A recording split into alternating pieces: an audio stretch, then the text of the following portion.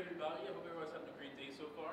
So we are the bosses, and we are here to illustrate to you our story, our journey, the birth of our app, Healthy Eats.